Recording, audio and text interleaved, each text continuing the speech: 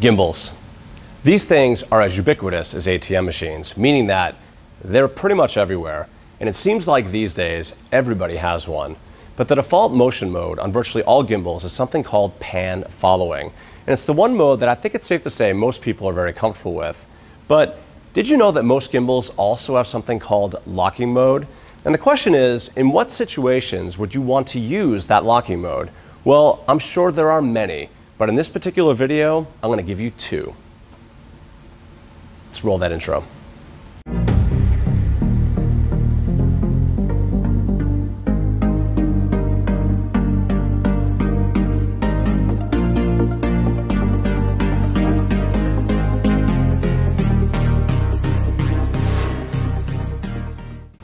Hi, I'm Darren Miles with Darren Miles Photography, and I'm based here in beautiful, sunny, mosquito riddled, and really freaking humid Southwest Florida.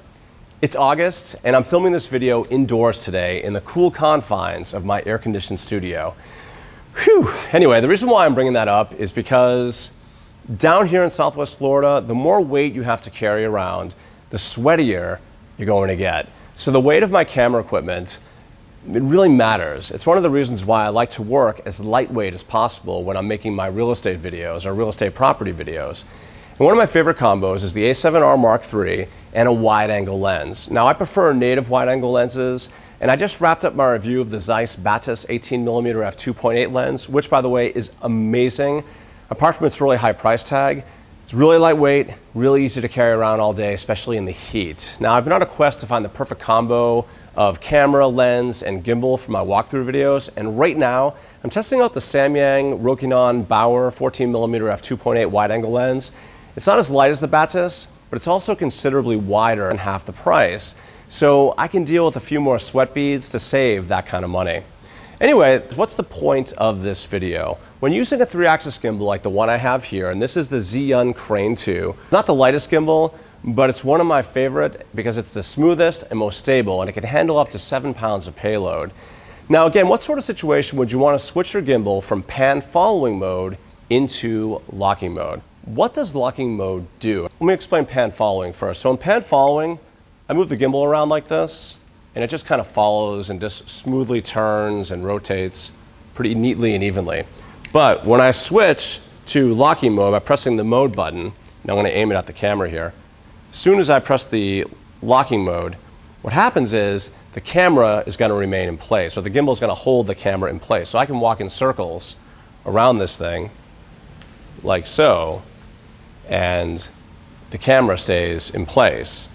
I can go left, I can go right, but the camera maintains its front orientation. So what are those two situations that I promise are the ones that I use locking mode the most frequently? Well, the best example that I can give you is a long, straight hallway or corridor. And it just so happens a few weeks ago, my family and I took a cruise to the Caribbean on one of the largest cruise ships in the world, Royal Caribbean's Allure of the Seas. This thing is longer than three football fields, American football.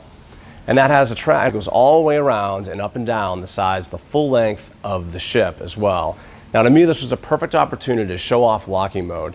Now keep in mind, you got to keep in mind the boat was still moving, so there will inevitably be some sway from side to side. But all in, I think you can see how steady locking mode can be if you want to maintain a straight axis or straight orientation down a long corridor. So check it out.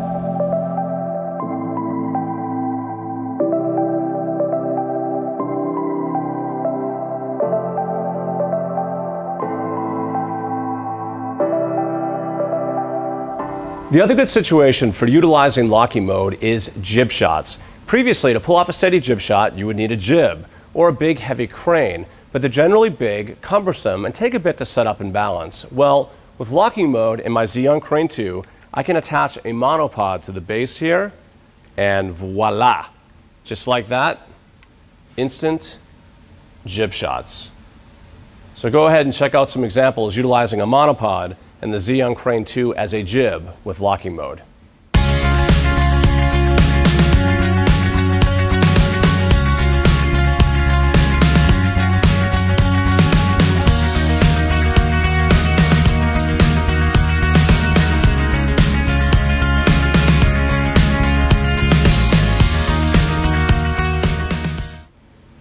That's pretty cool, right?